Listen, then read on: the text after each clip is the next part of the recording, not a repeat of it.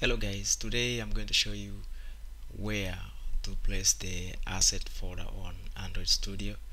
And uh, there is two ways of doing this. You can either uh, it, it, should be on the main folder. So you create the asset folder on the main here. Or another way is you just let the Android Studio do that for you. You right click on app over here.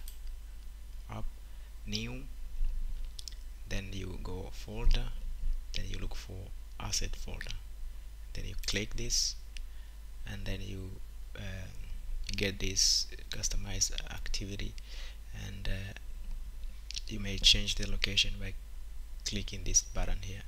But this is going to be on main but you can just uh, for example if you want uh, asset folder to be on debug folder or release.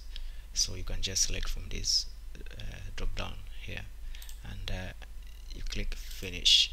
So immediately you see if you go to the main you see this it's here asset folder.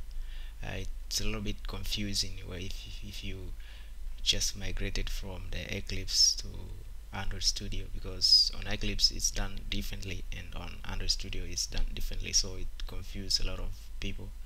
But I hope this is going to help you guys to to figure out. You just have to uh, place it on the main and you can just right click and uh, just create a folder here and call it asset asset asset or Eclipse can do that for you. Right click on app and new then folder then asset.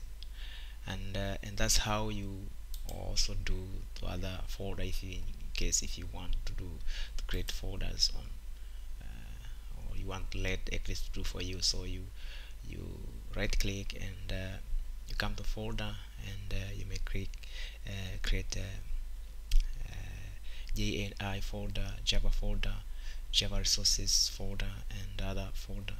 So thank you guys and I hope this uh, this was helpful. And remember to like and share and also subscribe. Bye bye